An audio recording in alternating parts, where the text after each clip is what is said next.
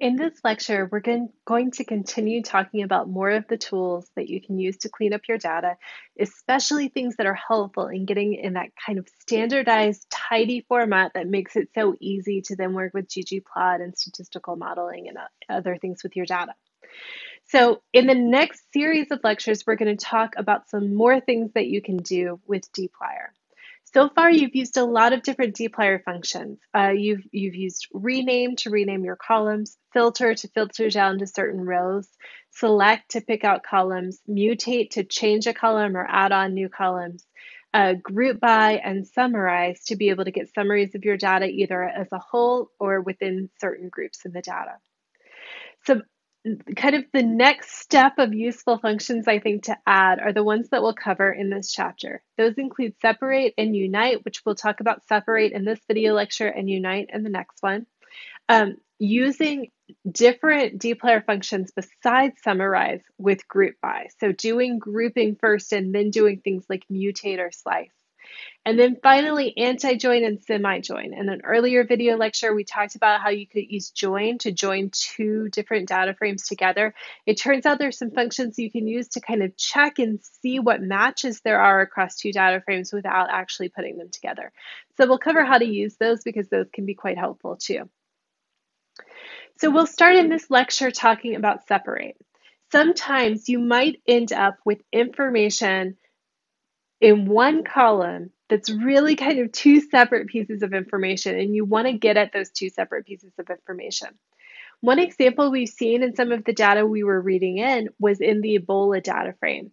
We had there a column that gave the country name and then whether it was cases or deaths.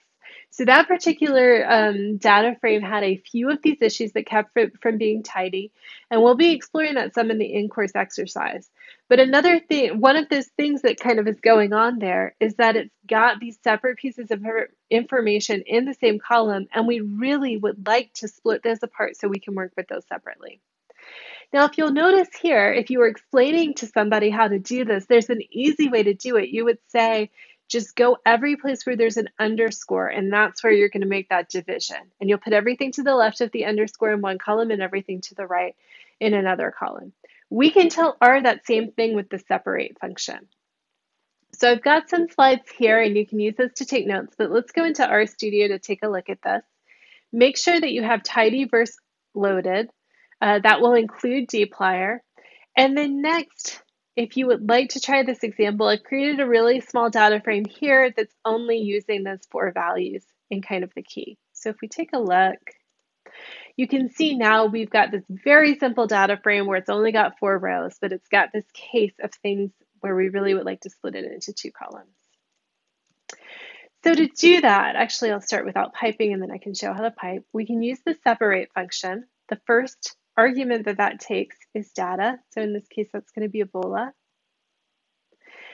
The next thing is that we need to say which column we want to split. The column we want to split here is Ebola key. We can figure that out by going down and looking at our data frame to see where the name of the, the column is that we want to split. Next, we need to say the names of the columns we want to split it into, and that is the, the argument into. So this will be a, a vector of character strings as long as however many columns you want to split this into. In this case, this will split into two columns. We just got this one separator. The first column here will be country, and then the next column, this could be um, maybe like type for the data, whether it's giving cases or deaths. So I've picked these names. These will be the column names that we end up getting. So let's try running that. And you can see down here that has taken those columns and it's split that one column into two separate ones. And these two separate ones have the names I specified with into, their country and then their type. The other thing we should put here, in this case, it did a good job of picking out what it should separate by, but it's safer if we also include the character that's the separator. So in this case, it's those underscores. So we can run that. We might have some cases sometimes where we have a different character. For example, it might be, uh, actually, often it'll be a space. So let's try with space. All right, so in that case, we would change to specify that the separator is space. So let's look at the data frame that I've just run. You can see now they're separated by a space. So I've changed sep to be a space, and now you can see that that works the same way. So let's look at how this would look if we pipe into it instead. So to pipe into it, we'll take out that first argument that we had, and instead of specifying it at the beginning of the call, we'll specify it before and then pipe in. Fix those. So you can see this works exactly the same way.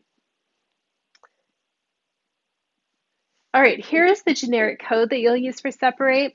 Again, this won't run. This is just to show you the usage and the common arguments that you'll use. So you first want to put in the data frame that you want to use. Then you specify the name of the column in your data that you want to split. Because that is a column that exists in your data frame that you'll be calling, you do that without quotation marks.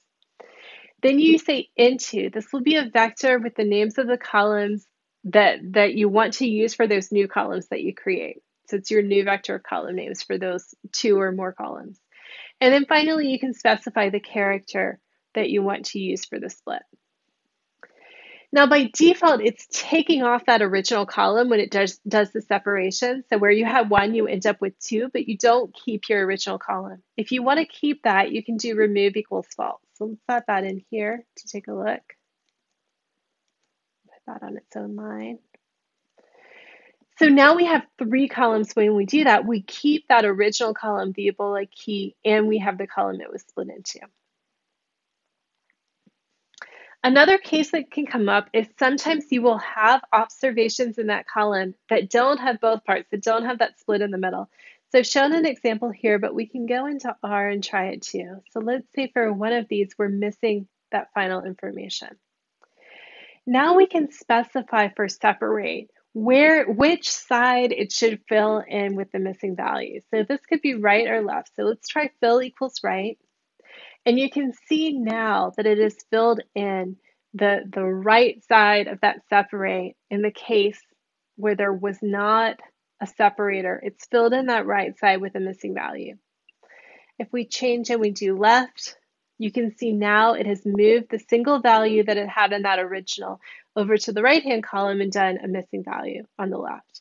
In this case, this really looks like it's a country, so it probably would have made more sense to keep this right.